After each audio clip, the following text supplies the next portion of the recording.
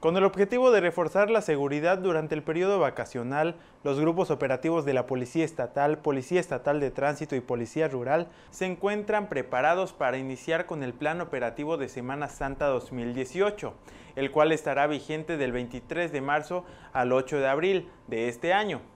Se instalarán recorridos en zonas comerciales y turísticas sin descuidar los trabajos de vigilancia en colonias y demás asentamientos humanos. Rodolfo del Ángel Campos, secretario de Seguridad Pública en Quintana Roo, dijo que la Policía Estatal en la zona norte, zona centro y zona sur cuenta con el plan operativo para la instalación de puntos de verificación, recorridos pedestres en playas y zonas comerciales, además de reforzar el patrullaje en las colonias populares donde mantiene presencia la Policía Estatal.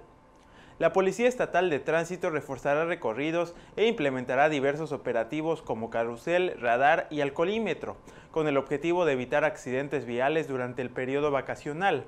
Aunado a ello, participará en las labores de patrullaje y prevención de delito en la ciudad de Chetumal.